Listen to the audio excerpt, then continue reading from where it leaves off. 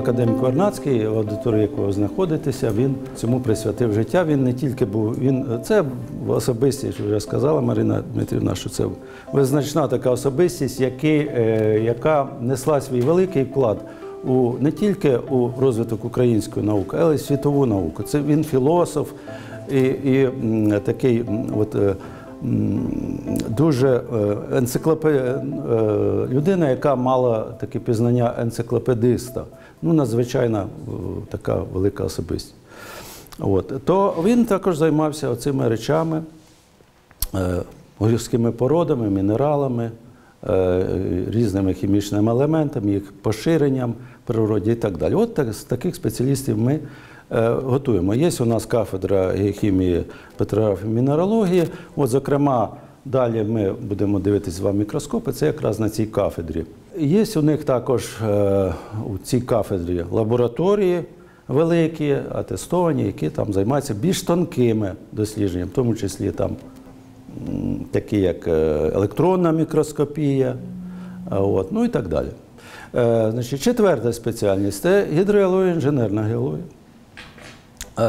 Також надзвичайно затребувана спеціальність, тому що без води, ви знаєте, ні туди, ні сюди. Значить, а з водою проблеми виникають, не дивлячись на те, що Україна не така вже й бідна на водні ресурси, але і якість їх змінюється, і не скрізь однаково е, забезпечені і народне господарство, на- та навіть населення водою підземними водами, тому що є райони, де з цим дуже сутужно. Ну, зокрема, це такі як Донбас, е, це південь України, це і захід в якійсь мірі України, там виникають такі проблеми. Це е, самі підземні води. Але крім того, без, без е, цього, е, без досліджень інженерно-геологічних не будується жод, неможливе жодне будівництво. Тобто проектна документація, коли робиться, обов'язково інженерно-геологічні дослідження. От метро будують, чи що завгодно, якийсь там завод, чи навіть промислові споруди і житлові будинки, обов'язково ця інженерна геологія. Е, Дуже також розгалужена галузь знань, вивчають там ґрунти, їх е, властивості, як там що буде стояти, е, наскільки це буде довговічно, що там можна будувати, що не можна і так далі. От, значить, четвертий напрямок. П'ятий геофізика. Геофізика це е, цілий, е, цілий такий спектр напрямків по вивченню різних полів, які пов'язані з землею. Це вивчення магнітного поля, це вивчення гравітаційного поля, вивчення електро, електромагнітних полів, вивчення і, звичайно, штучних і е, е, штучних е, хвиль, е, сейсмічних хвиль і природних се- сейсмічних хвиль. Ну, напевно, знаєте, як ці хвилі з'являються, яким чином. От коли з'являються ці сейсмічні филі, які треба потім досліджувати, от природним способом, як це відбувається? Ви ж повинні це знати, напевно, да? кажіть. От коли ці филь? А землетруси, звичайно. От землетруси. Нам здається, що землетруси це рідко, щось таке в нас як не відбувається. Насправді у нас тут весь час ці коливання вони є е, і їх досліджують. Е, І е, це, звичайно, також надзвичайно важлива е, галузь знань, яка використовується у нафтовій геології для пошуків родовищ нафти і газу. Сейсморозвідка, так звана, основний метод для пошуків нафти і газу. Ну от геофізика. Що які ще там поля я не сказав? Електророзвідка, теплові поля також вивчають, ну і інші. Тобто всі поля, які є е, от, е, на, на землі. Е, Далі, е, що в нас іще? Це е, геоінформатика. Геоінформатика. Геоінформатика це новий порівняно напрямок, який зосереджується на тому, щоб застосовувати нові програмні продукти, які для обробки величезної кількості даних, які можна отримати різним шляхом, і лабораторними, і там е, якимись приладами, які фіксують ті ж коливання, сейсмічні коливання чи інші якісь процеси. І от для того, щоб все це е, одній людині неможливо це е, відпрацювати. Тому, звичайно, і це у всіх галузях сучасних знань застосується геоінформатика.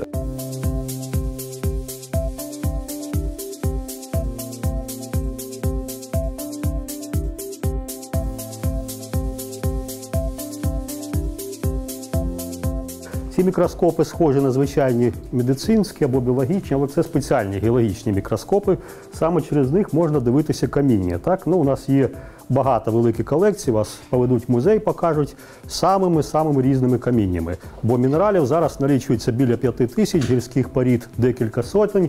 Ну, це одна з найбільш відомих гірських порід це граніт, наш український, Лізніковське родовище. Житомирська область. Е, Але справа в тому, що якщо цей камінь просто покласти під мікроскоп, е, ви нічого не побачите, бо світло в мікроскопі йде знизу, а камінь просто затулить вам світло, і ви через окуляри цього бачити не, не, не зможете. Ну тому виготовляються спеціальні препарати. Бо е, практично кожен мінерал, більшість мінералів в дуже тонких зрізах вони є прозорими. Оцей камінь не прозорий, да? але дивіться, вирізаємо з цього каміння отаку пластинку, в нього товщина е, всього пів міліметра, і ось частина мінералів стала вже прозорими. Так? Цей мінерал, який став прозорий, цей мінерал кварц. Якщо та пластинку зробити товщиною зовсім маленькою, на цих мікроскопах дивляться пластинки гірських порід товщиною 0,03 мм. Так, цю пластинку наклеюють на спеціальне скло.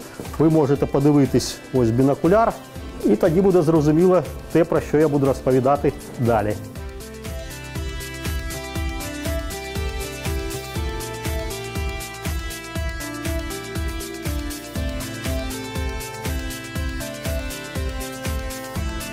От смужки йдуть темні, світлі. Це одразу два мінерали. Те, що потемніше і таке грачасте, це мікроклін, а більш світло це мінерал альбіт. Так, ну і фактично це три мінерали, які найбільш розповсюджені у природі: кварц, мікроклін і альбіт це плагіоклас. Ось вони складають нашу земну кору, входять до складу гранітів. Так, відповідно, крім того, що ми під мікроскопом можемо сказати, що це граніт, ми можемо сказати, з яких мінералів вони складаються, які кількості цих мінералів, е, які в них розміри, які форми і багато інших характеристик. Тобто, фактично описати цю гірську породу, і оцим займається наукова дисципліна, яка називається петрографія. Петра гірська порода, скала, графіо описує, описують гірські породи. Е, Базальт це складається з багатьох мінералів, але якщо у граніта розмір окремих кристаликів 2, 3, 4 мм, у базальта це долі міліметра, і на око нічого побачити не можна. Так, тому е, для базальта якраз петрографічні шліфи, такі дослідження це те, що потрібно. Я роздаю вам шліфи базальтів. Отака невзрачна гірська порода, тобто яку нічого начебто не помітно. Геолог, петрограф мінералах розказує, з яких мінералів складається, визначає ці мінерали і визначає гірську породу. Яке це має практичне значення, тобто де це можна використовувати? Ну, по-перше, це саме знання, тобто людина завжди цікавить, а що в неї під ногами. А по-друге, є практичний інтерес. Ну, зокрема, ось перед вами лежать отакі зразки. Це зразки, отримані при бурінні, називається керн. Так, це буриться свердловина алмазними коронками і з великої глибини добувається отака гірська порода.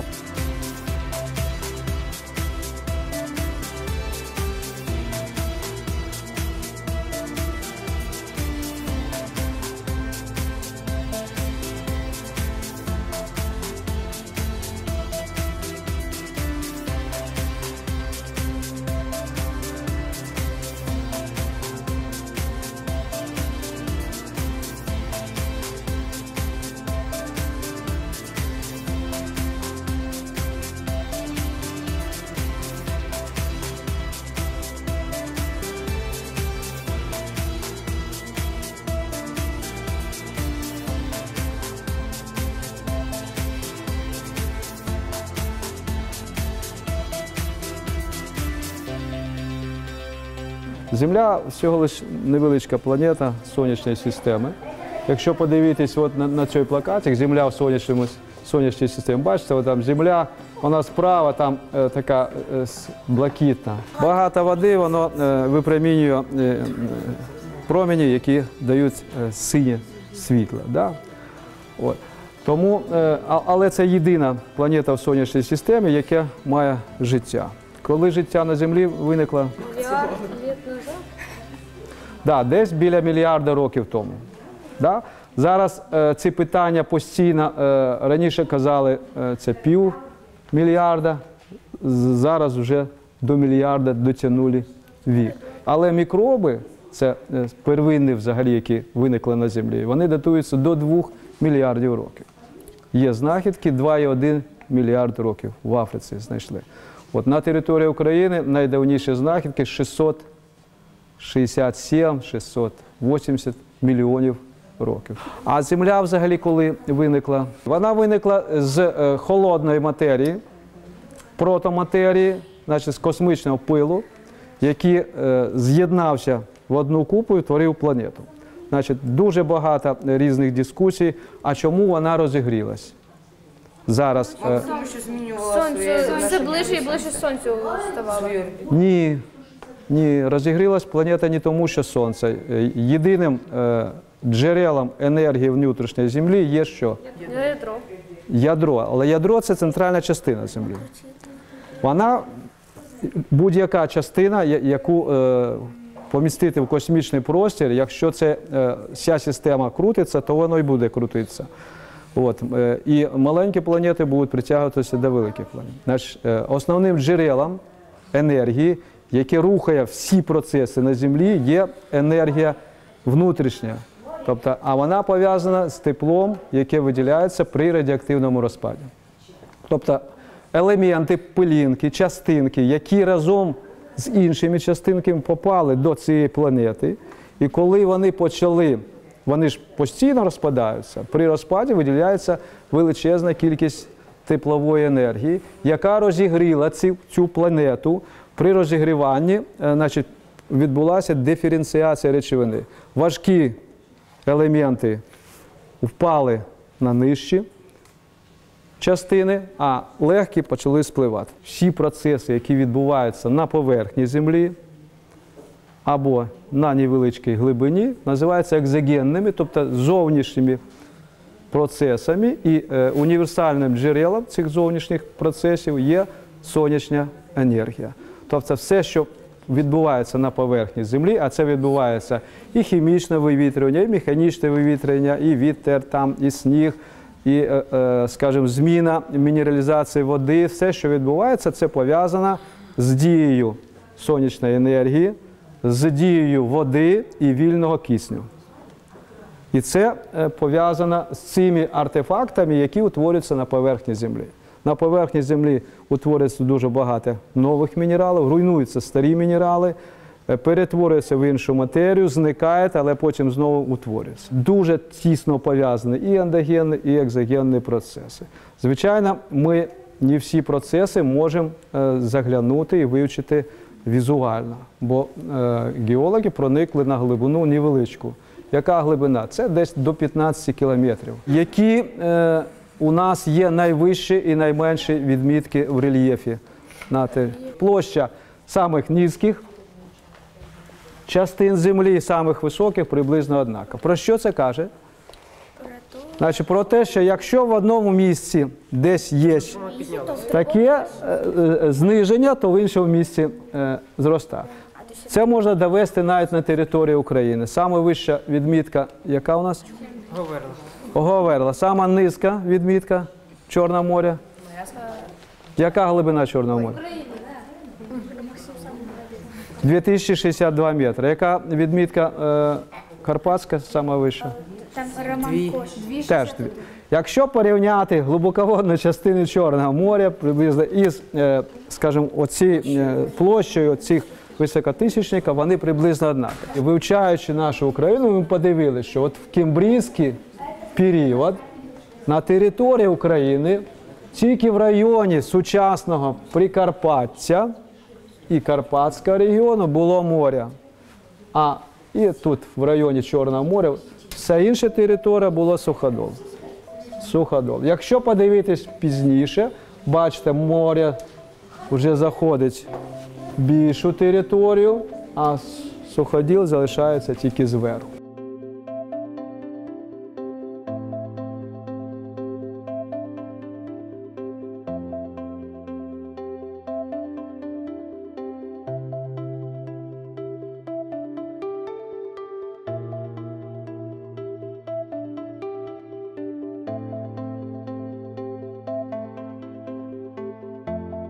От тут які міста розташовані? Тут Харків, Полтава, Суми.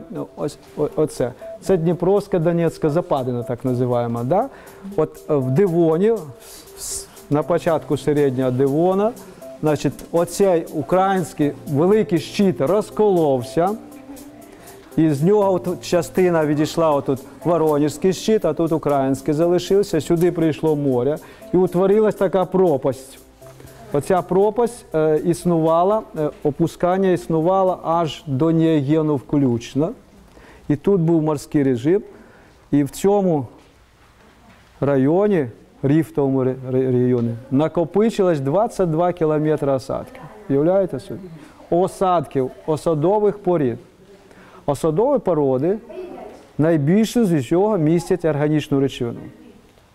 Ця органічна речовина потім трансформувалась у нафту і газ. Тому це основний регіон з видобутку нафти і газу на території України. Значить, ми там видобуваємо зараз з 2-4 кілометрів, зараз вже 6-кілометрові е, ділянки, е, потім 8-кілометрові. Тобто це нафтогазоносний район. Там, де є осадові породи, там є нафта. Ще один регіон, який е, має велику потужну товщу е, осадових порід знаходиться в е, передкарпатському передовому прогині. Там до 20, 18-20 в інших місцях накопичилось. І це теж нафтогазоносний район. Ну і е, один ще є, переддобруджинський е, прогін, це в Чорному морі, туди біля Румунії. От.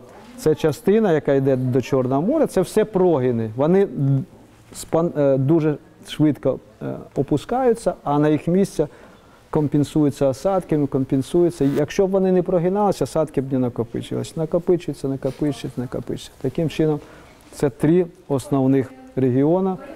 Чорноморський регіон, Дніпро-Донецька западина і передкарпатський прогін, які накопичили велику кількість осадки. Якщо отут ми будемо буріти в Києві, отут біля нас, то через 300-400 метрів ми зустрінемо отакі породи, які на цьому це е, граніти.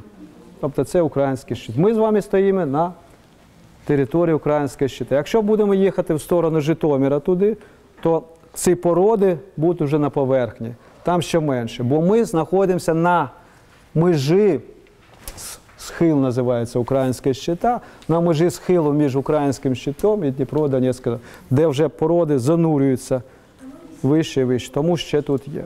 Тут є. Але на території Києва останнє море було знову ж таки біля е, 25-27 мільйонів років тому.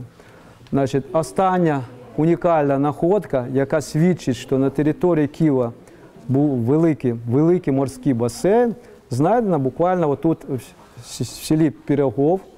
От, е, там був кар'єр з видобутку глини, в якому ми знайшли зубастого кита. Значить, кити, ви знаєте, що е, е, це взагалі вони харчуються планктоном, вони взагалі то не хижаки. Але 33 мільйони років тому були кити, які були хижаками, і е, вони були, у них зуби величезні були. І коли його реставрували, він десь до 20 метрів завздовжки такі кіт. Отам від нього залишки за мамонтом лежать. Ми на нього подивимося. Це унікальна річ, таких нагодки дві у світі. От одна з них знаходиться тут. Тобто зовсім недавно море пішло з нашої території. Я маю на увазі в геологічному часі. І ми, наше метро, тут на, на, на цій частині прокладено в морських глинах. Так, такі голубуваті, е, блакитнуваті е, глини. Е, це морські глини, от якраз цього періоду. В цьому залі е, покладена систематика від примітивних до розвинутих тварин у викопному стані, одноклітини найменші, закінчуючи савцями. Тобто це е, організми, які ми знаходимо, якими користуємося для визначення відносного віку. Значить, ви подивитесь, побігаєте, подивитесь, як вони виглядають. Значить, є колоніальні організми, є одноклітини, є багатоклітини. Ну і є навіть такі організми, які живуть колоніями, і вони є породоутворювальними. Тобто вони формують цілі величезні скали, цілі масиви порід. особливо це коралові острови цілі виникають в океанах, на отмілях вони виникають, вони утворюють цілу породу. Значить, всі процеси пізно чи рано е, на землі, які особливо органіки, вони призводять або до розчинення, або до скам'яніння. 99, можна сказати, 0,5% все перетворюється, навпаки, розчиняється, е, змінюється і перетворюється в іншу матерію. Частина переходить в вугілля. Да? Через торф, через буре вугілля, через кам'яне вугілля, через антрацит. Тому е, ця частина, яка знаходилась в відновленому середовищі, вона перетворилась у вугілля. Ця частина, яка замістилась неорганічною речовиною, вона скам'яніла. І ми її бачимо. Значить, всі ці решки, ось такі, вони теж є предметом скам'яніння. Процес цей постійно е, відбувається якраз у відновленому середовищі, там, де немає кисня. Але знову це не правило, це виключення. Якщо б зберігались всі і всі скам'янілі, то тут би проходу від цих скам'янілостей не було. Це е, може піввідсотка всього, що відмірає. Тому, коли ви знаходите скам'яніли рештки, будь ласка, їх не бійте, там не розбивайте, там, ну, бо це унікальні речі. Мгм. Ну, оце аманіти, які, яких вже немає. Останні е, вони були в крейді, проживали. Значить, це морські організми були, і вони досягали до метра, метра 20 в діаметрі.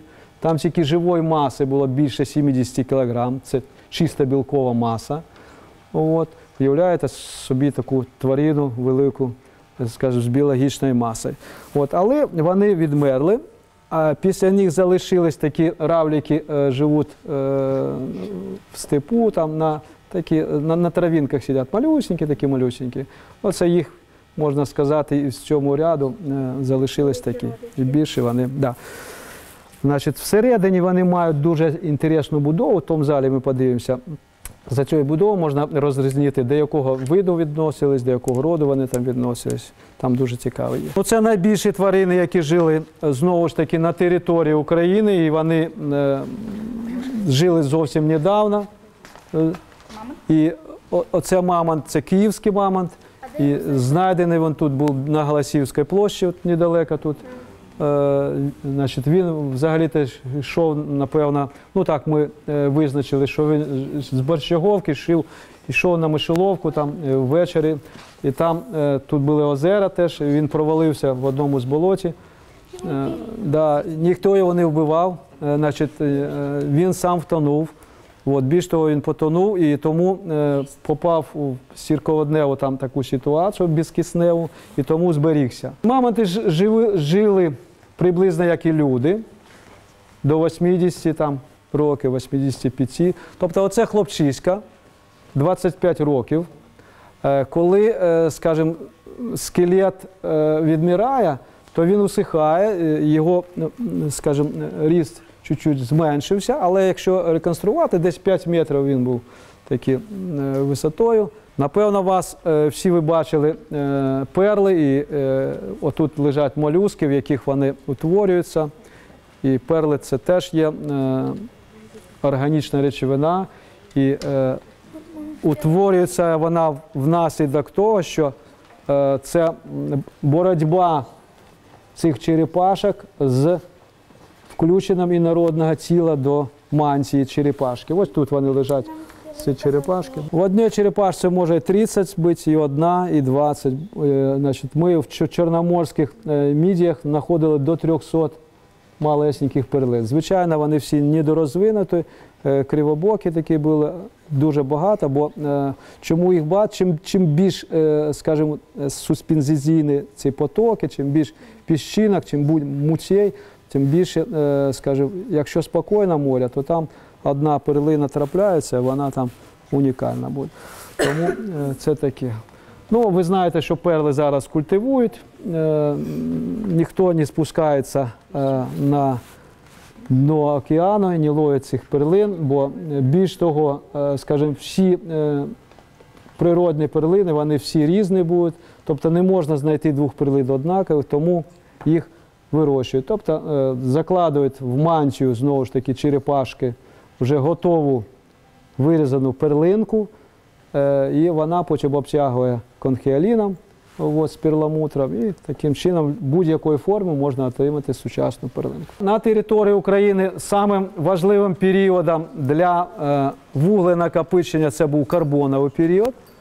Тобто це був етап розвитку, е, скажімо, ну, можна сказати, території з тропічною флорою, де дуже багато було рослинності. Ця рослинність відмірала, е, потрапляла знову ж таки в такі зарослі, болоти і накопичилась величезна, величезна кількість вугілля. І тому у нас утворився якраз кам'яновугольних, два кам'яновугольних басейни. Один є карбоновий басейн, це Донецький кам'яновугольний басейн, більш молодший, це Прикарпатський, Львівсько-Волинський басейни. От, значить, бурштин на території України має палеогеновий вік. Да? Це знову ж таки 35-32 мільйонів років. Значить, е, що ще у нас? Е, Залізні руди, які, е, які ми- експортуємо, які ми, скажімо, найбільше знаходяться це Криворожський залізорудний басейн, вони докімбрійський вік мають. От. Є ще марганцеві руди, е, це теж палеоген, це одновікові відклади з бурштином, але на півдні в цей час було море, от, і там відклались руди марганцю. Всі інші метали або, е, скажімо, руди, вони мають е, ну, таке е, або гідротермальне походження, тобто вони не пов'язані з епохами якраз моря суходолу. Вони мають більш інше походження. Коли я навчався в школі, я теж думав, що є жива матерія і нежива матерія. А потім, коли я поспілкувався з мінералами, я теж зрозумів, що мінерали теж живі. І в це я, скажімо, вірю так філософськи. Е, Не через елементи, а філософськи. Бо, е, скажімо, вирощуючи кристали, вирощуючи, е, знаючи, що кожне, кожна речовина кристалізується в певному об'ємному вигляді, от, і що вони починають жити, потім живуть, потім відмирають. Тобто в них є життя, в них є, скажімо, зміни в житті, тільки, скажімо, їх вік не порівняно більше, ніж, е, скажімо, у- живих істот, які спостерігають за ними. Тому е, царство мінералів воно дуже специфічне, але е, коли ви будете вивчати живі істоти, ви зрозумієте, що, скажімо, живих істот дуже багато видів, класів, а мінерали ми всі вже порахували, і ми їх знаємо кількість. Бо воно побудовано на принципі. От давайте спочатку так. Хто мені скаже, що таке мінерал? Тільки подумайте і скажіть. Зараз підскажуть. Бо Ну, це те, що, з чого складається гірські породи. розумно. А ще хтось? Кристалоутворені однією сполукою, певно, Або окремим елементом. Значить, от я вам скажу так, щоб ви з дуже простою мовою, не такою науковою. Значить, це природна асоціація хімічних елементів. Елементів. Різні елементи, елементи в природі мають різне скупчення один з одним.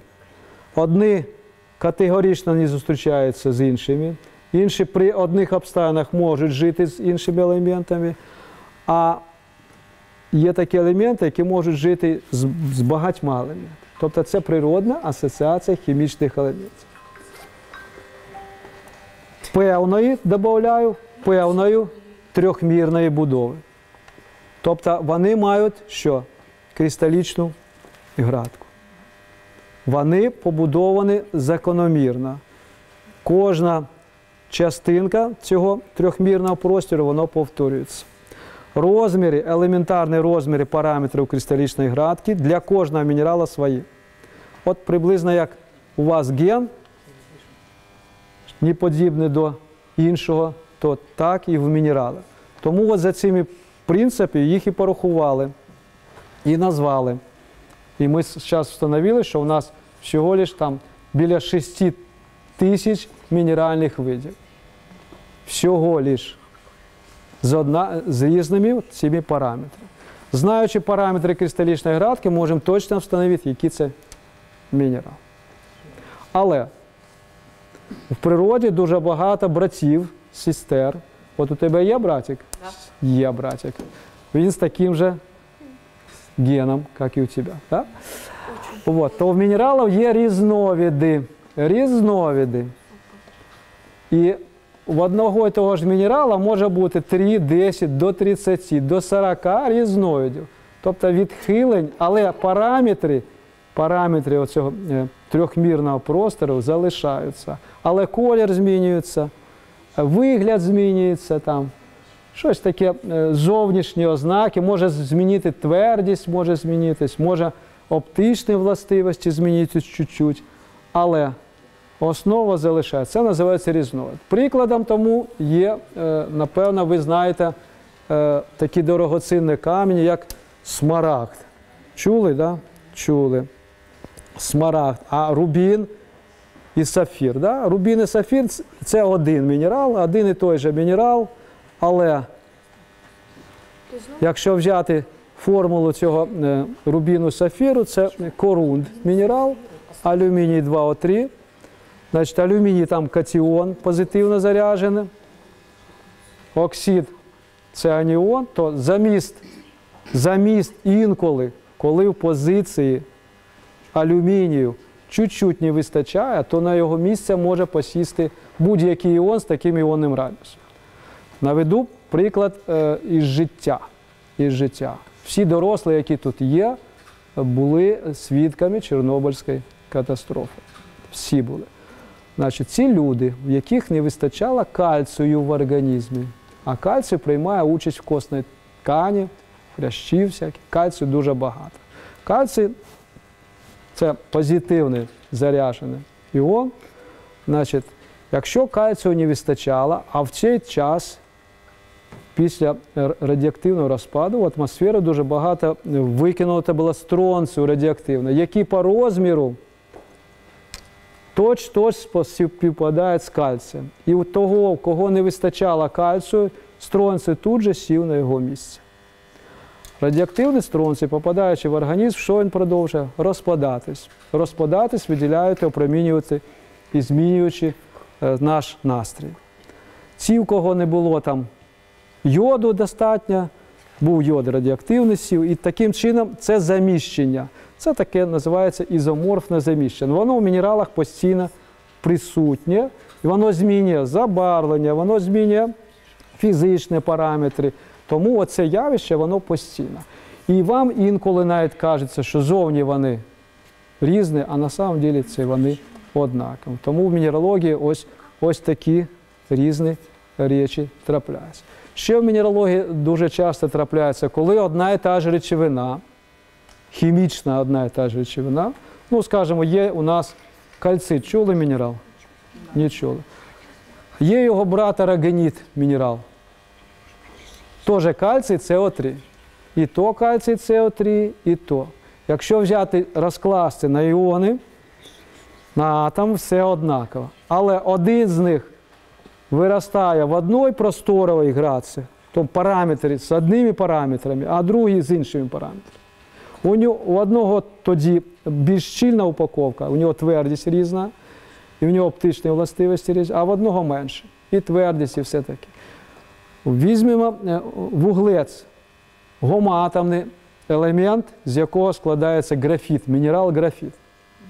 Цей графіт може складатись з гексагональної позиції, а може в кубічній.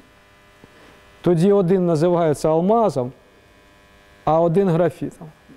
А ще у нього, це ж ви тільки два знаєте, а у нього ще полікулімен є, графен є, е, і е, карбін ще є, ще декілька поліморфних модифікацій, які існують. От. Але хімічно це однакові всі. Всі однакові речі. Деякі мінерали з одного боку є мінералами, з іншого боку, вони є ще і корисної копалини. Правильно? Може бути? Може бути таке. І породи теж. Одні мінерали є, е, скажімо, рудой на метали, вони називаються металічні корисні копалини. Інші є не металами в хімічному відношенні, вони називаються неметалічними корисними копалинами. Одні мінерали використовуються для агросировини, вони називаються агрос. І, і так далі, і так далі. Це вже за. Я вже вам казав, що кожна речовина, тобто хімічна речовина, якщо перекласти на елементи, вона в природному середовищі росте в певному трьохмірному просторі. Тобто утворює кристали певної форми. Да? От уявіть собі, от ти почала рости, а поруч почав оцей хлопчиська рости, а ще оцей замішався. Коли вона одна росте, цьому середовищі, то їй ніхто не заважає. Але отут появився, отут появився, і вони один одному починають заважати. Заважати рости. Рости? Да, рости. То коли, коли кристал ми вирощуємо або, е, скажімо, в лабораторних умовах, або є в природних середовищах, де йому ніхто не заважає, тобто коробочка така закрита, як одна дитинка в- в домі, то вона виростає з гарними формами, ідеальними формами.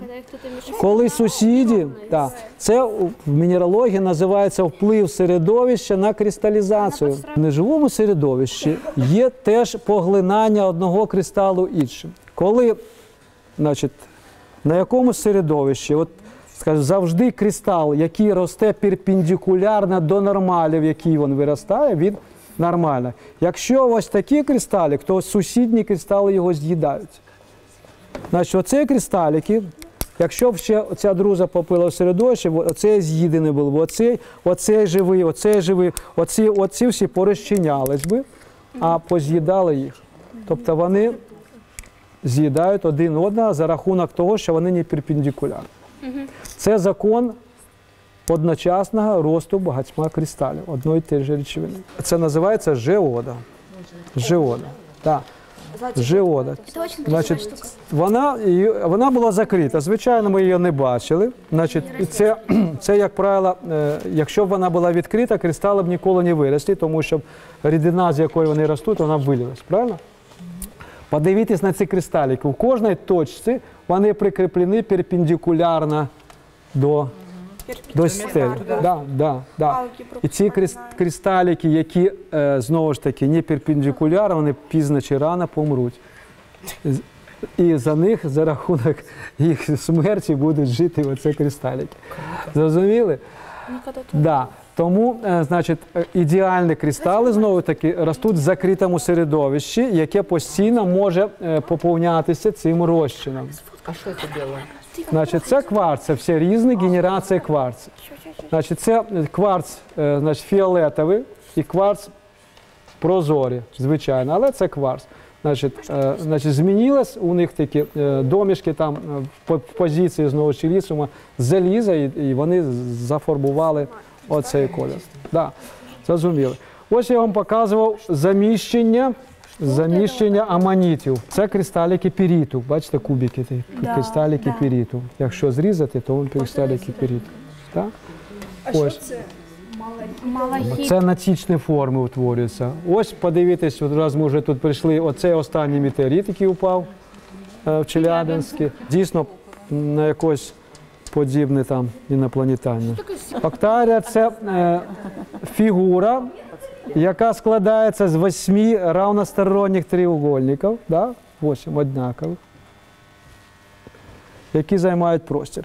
В, січе, в розрізі завжди квадрат лежить. Це сама симетрична фігура взагалі.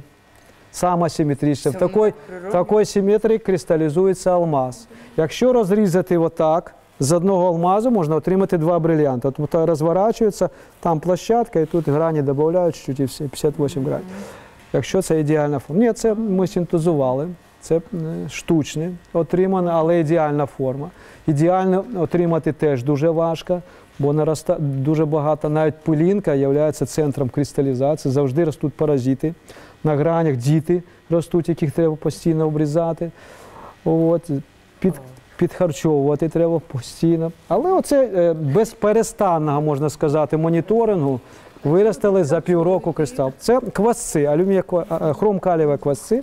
Значить, е, їх можна виростити. Можна е, з е, себе доказати, що кристал, кожний кристал росте гранями.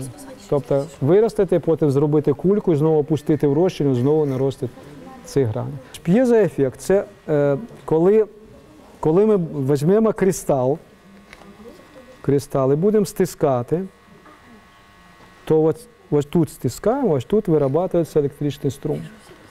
П'єзокристал. Значить, коли можна зворотнє завдання вирішувати, можемо, е, скажімо, електричний струм, то він починає вібрувати. Е, Це е, властивість використовується в стабілізаторах, там, генераторах, стабілізаторах, тобто в основному це в ракетах, космічних ракетах. І є такий мінерал, е, найбільш розповсюджений, це є п'єзокварц. Оце п'єзокварц. Оце п'єзокварц. Бо іншим шляхом, е, скажімо, е, скажімо, встановити, тільки треба розрізати і подивитись там це навантаження. Так, так на родовищах визначали п'єзокварц, і це було єдине родовище на території України, на Жи- Житомирській області, де видобували п'єзокварци. Тому видобували все, потім простукували, потім е, відбивали їх і, е, скажімо, з зі 100% кварцу тільки 2-3% було з п'єзо- з п'єзоефектом, тому їх видобували.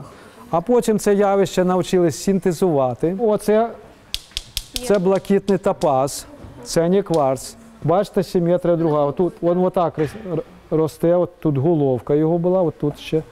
От. Отак він може, він твердіше, ніж кварц, але у нього слабкість, він так от може розколотись. А це ніяк не може розколотись. Тобто у нього є, знову ж таки, це пов'язане з будовою кристалічної градки. Золото знаходиться в самородному стані. Чому воно знаходиться? Тому що ну це як воно розвивається. Що буде в нас там? Росте, росте. А, ну це від впливу інших. А, магматичне походження. Ні, там магматичне походження багато мінералів, але всі мінерали вони зв'язуються, тобто вони е, зв'язуються е, або з киснем, або з іншими, е, або з металами, або з неметалами. Золото, воно найменш і найбільш інертне до цих зв'язків. Тобто воно існує в атомарному стані, в гомоатомному стані. Воно майже ні з ким не зв'язується. Тому чому воно не окисняється? А з киснем всі елементи зв'язуються. Тому воно знаходиться в такому вигляді, яке, є. Там є декілька мінералів, але їх дуже мало. От, в основному знаходиться в самородному такому стані. От, воно може бути включено в породи, воно може бути включено в мінерали в інші, але воно знаходиться як саме. То е, золото найкраще добувати якраз з розсипів, знову ж таки, завдяки тому, що воно хімічно інертне, воно важке, все розмивається, все перетворюється в іншу субстанцію, а золото залишається. Залишається і лежить. Люди приходять, його беруть. Воно може е, вкрите тільки піском, глиною і все. Розмивають пісок і глину беруть.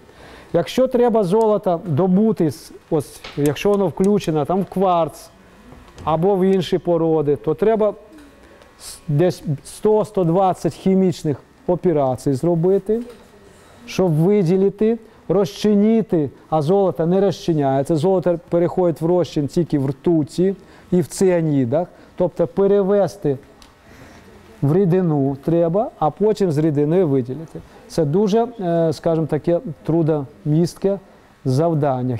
Тому називається хімічне золото і розсипне золото. Хімічне золото досить дороге. Хімічне золото можна добувати із морської води, можна з будь-яких пород добувати. Його, воно розсіяно, воно мало, але можна добувати.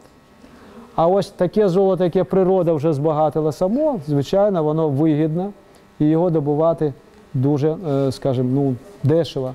Тому всі намагаються добувати таке золото. От. А срібло, срібло воно, на відміну від золота, воно дуже швидко зв'язується з іншими елементами і утворює інші мінерали. Тому воно і окиснюється, і е, утворює нові мінерали. І в самородному стані, е, значить, його е, знахідки менш такі, е, скажімо, ну, ну, відчутні. Значить, хто з вас е, має е, срібляні вироби, той бачив, що воно постійно темніє. Значить, це утворюється новий мінерал, який, е, тобто срібло зв'язується з сіркою і утворюється мінерал аргентит. От, це чорний такий нальот, це новий мінерал уже. От, бо сірка у нас постійно є в повітрі, сірка є на нашому тілі, і це нормальний процес. Тому всі вироби, які зараз роблять, їх вкривають там захисними, покривають роді радієм або іншими там е, такими інертними, можна сказати, металами до окиснення. Ось таке. Таке. От там бачили пірітовий долар, е, який розраховував е, міру розрахунків в цій вітрині було. Тобто золото було і теж міру розрахунків, з нього були монети золоті, а потім перестали робити. Чому? З точки зору науки, чому перестали робити золоті монети? Тому що золото рідко зустрічається. Ні. Ну, раніше е, золотий пісок, воно дуже м'яке, воно витирається в руках. Якщо золоту монету за рік но носіння в карманах, в магазинах витирається 30-40% маси вже немає. Тобто ти приніс монету було 5 грам, а від нього 3 залишається грам. Тобто золото втрачається. Чому в стоматології не використовується чисте золото? То з'їдається, воно з'їдається зразу. Тому, звичайно, тільки в сплавах, тільки додаткові лігічуючі елементи даються і таке інше. Тому золото в чистому вигляді не використовується, а використовується тільки як банківські метали. Все інше це лігатура.